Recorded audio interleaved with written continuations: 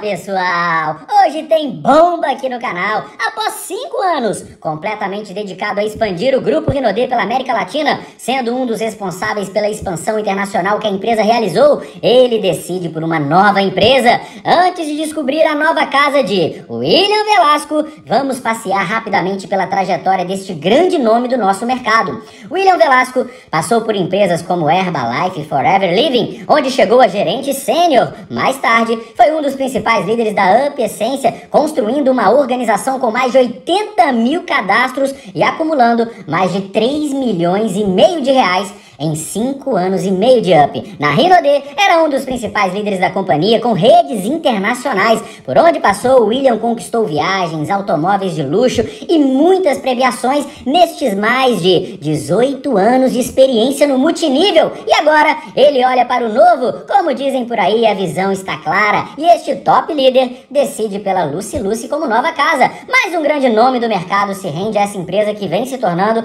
morada de gigantes, conhecido como Paisão por todos os seus líderes e fazendo um trabalho raiz, tomou uma nova decisão, começar um trabalho no Brasil com seu amigo de 16 anos de estrada, Márcio Ângelo, Royal Black Diamond da Lucy Lucy, onde entende que foi preparado por quase duas décadas para este momento. É, pessoal, e essa é a sua chance de começar com o pé direito sob a mentoria de dois gigantes da nossa indústria.